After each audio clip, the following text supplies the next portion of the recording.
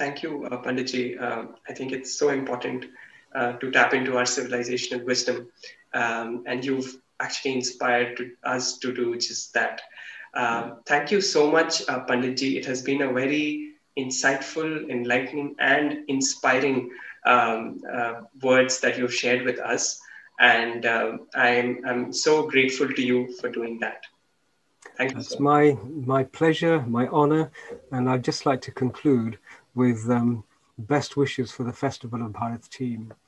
The Festival of Bharat idea was conceived, and at the time I can recall I was present when it was conceived. It seemed like such a, a, difficult task, and yet over the last three or four years, it's grown and gathered its own natural momentum, and it's it's happened because it's timely. The people behind it are clear in their heart and their mind, valuable contribution.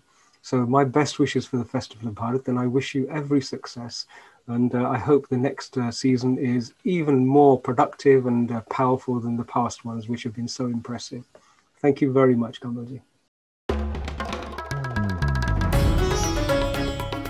Namaste. We hope you enjoyed this Citti Media content. Please remember to subscribe to us and switch on the notifications for this channel.